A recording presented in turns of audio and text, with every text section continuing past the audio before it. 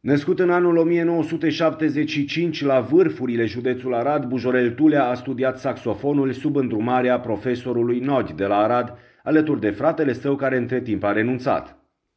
Sprijinit de părinți pentru a studia un instrument muzical în vremurile tulburi ale anilor 90, Bujorel Tulea și-a făcut repede un nume în lumea cântăreților din vestul țării.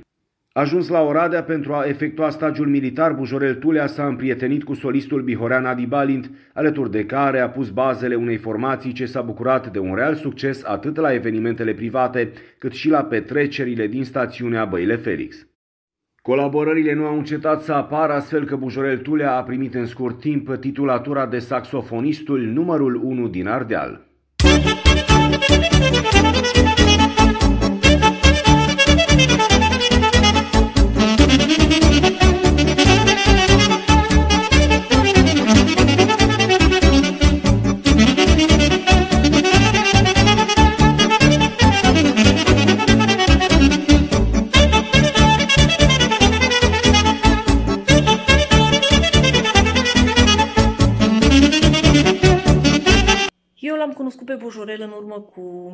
Mulți ani, aproximativ 20, când am fost uh, solicitați uh, de către un producător din Arad să facem un proiect muzical, un album muzical.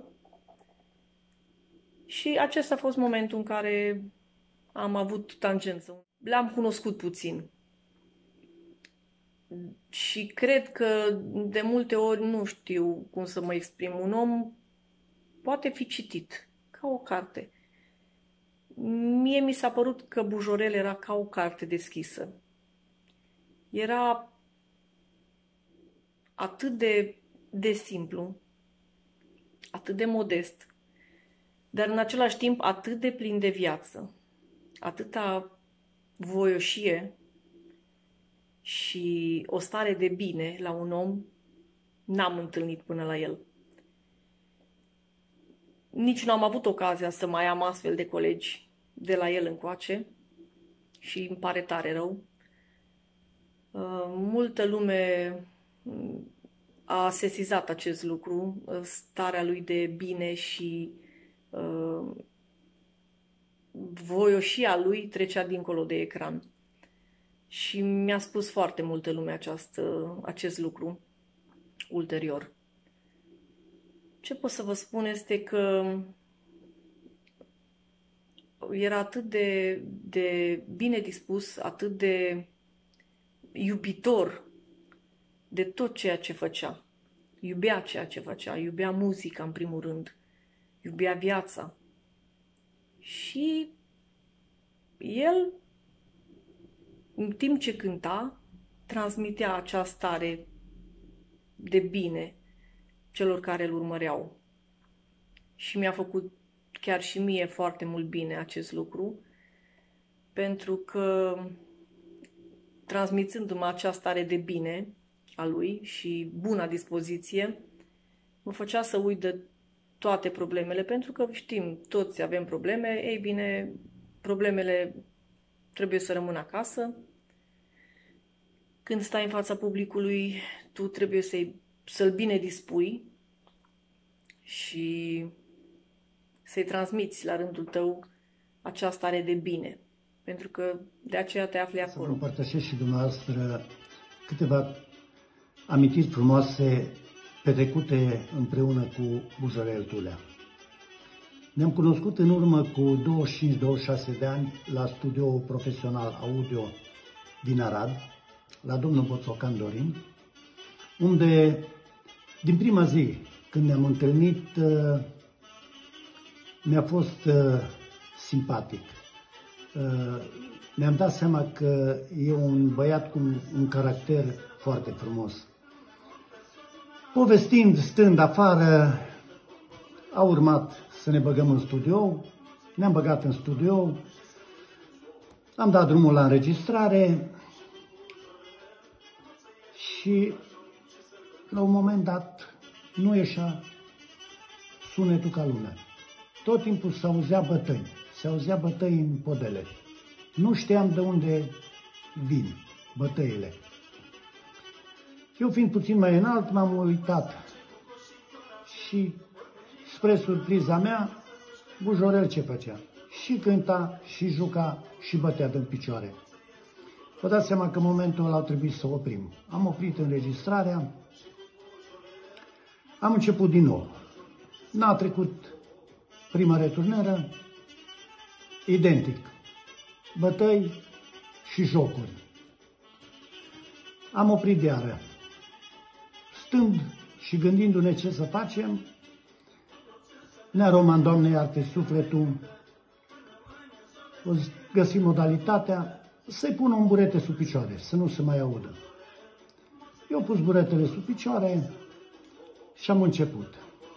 În fine, am terminat primul volum,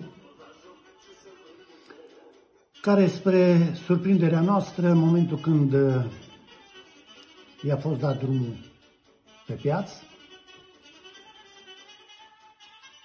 interesându-mă, am auzit că are un succes foarte mare. Spre bucuria mea, vă dați seama, l-am sunat și pe Bujorel, i-a spus și lui. În momentul ăla a început pregătirea pentru a doilea volum. Am scos a doilea volum, legăturile sufletești și prietenia uh, a fost mai puternică între noi. Eram foarte des uh, confundați. Mie îmi spunea Bujorel, lui Bombonel.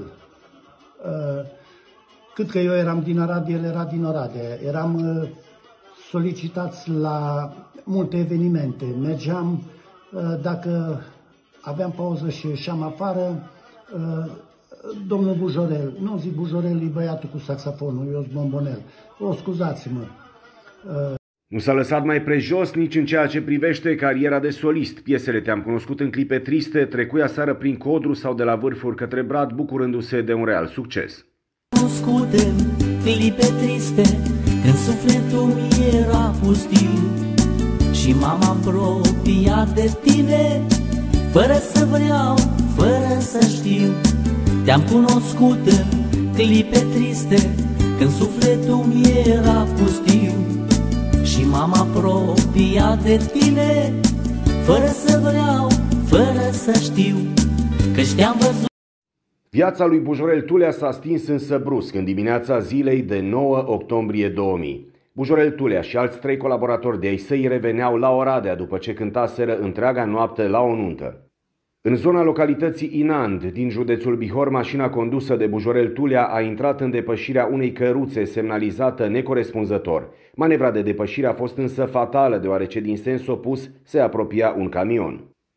În urma impactului frontal, Bujorel Tulea și cei trei pasageri aflați în mașină și-au pierdut viața, lăsând în urma lor un gol imens în inimile familiilor, colaboratorilor și fanilor. Pierderea lui a fost devastatoare. În ziua în care am auzit ce s-a întâmplat, uh, pentru mine a fost un șoc. Pentru mine, pentru publicul larg, pentru oamenii care l-au iubit, a plecat dintre noi prea tânăr, având o carieră strălucită în față. Nu degeaba îi se spunea Bujorel numărul unu. Era, era un, un talent născut, uh, era iubit, uh, avea un caracter deosebit. Uh, oamenii, oamenii numai când îl vedeau îl aplaudau și Uh, nu știu, se făcea plăcut, era, era iubit, era iubit de toată lumea și păcat, păcat pentru că s-a dus dintre noi uh, foarte repede, foarte repede, foarte tânăr și, cum am spus, n-a reușit să se bucure de succes. Ani de zile și acum stau de multe ori și mă gândesc că era frumos, era frumos dacă, dacă îmbătrâneam împreună, cântând, cântând la oameni, pentru că când vezi că omul te iubește datorită oamenilor, suntem și am ajuns cine suntem. Pentru că dacă publicul nu ne-ar iubi, am fi nimeni. Nu ne-ar cunoaște nimeni, n-ar vorbi nimeni de noi, dar uh, el s-a dus prea repede. S-a dus prea repede și lăsând în urma lui numai durere. Mi-e foarte greu să, să mi-amintesc, să vorbesc.